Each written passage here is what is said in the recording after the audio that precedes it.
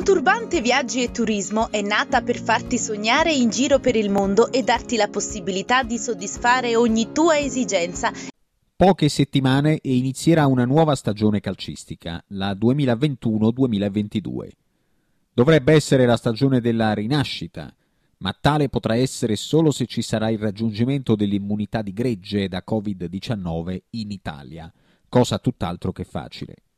Il ritorno del pubblico negli stadi sarà solo graduale, è sperabile che non ci sia una nuova recrudescenza del virus come avvenuto nello scorso autunno e soprattutto ci si augura che la vaccinazione possa aiutare anche i giocatori stessi a ridurre il rischio di contagio.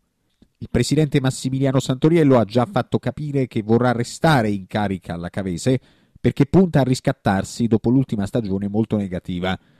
C'è chi dice che un imprenditore si sarebbe fatto avanti per rilevare delle quote e che il patron abbia rispedito al mittente la proposta. Su questo non ci sono riscontri al momento, ma al di là di ciò l'obiettivo della società Aquilotta per la prossima annata sarà quello di cancellare il campionato appena trascorso, in cui la squadra risulta essere stata la prima formazione a retrocedere in Serie D sul campo dopo il Trapani che era stato escluso a seguito di due rinunce.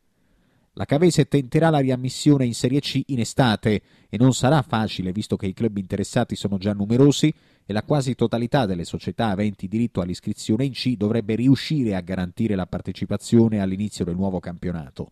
Quindi la società metelliana dovrà ragionare come se dovesse disputare una Serie D con l'obiettivo di giocare un buon calcio.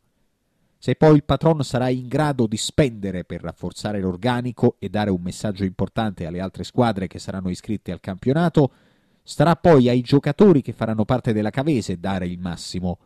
Può salire una sola squadra per girone, ma quella che saprà esprimere il gioco migliore potrà essere in grado di arrivare a questo.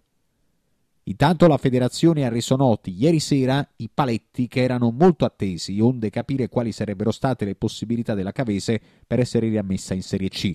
Ebbene, le condizioni amministrative e disciplinari richieste potrebbero essere tutte soddisfatte dal club Aquilotto, non essendo la Cavese mai stata sanzionata per illecito amministrativo o sportivo negli ultimi anni, e come quelle normative, dato che il club non ha ricevuto l'attribuzione del titolo sportivo negli ultimi tre anni.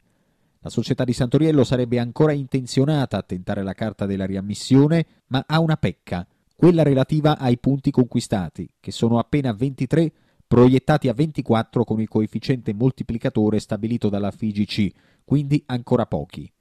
Per questa ragione sarà tutt'altro che facile la riammissione tra i professionisti.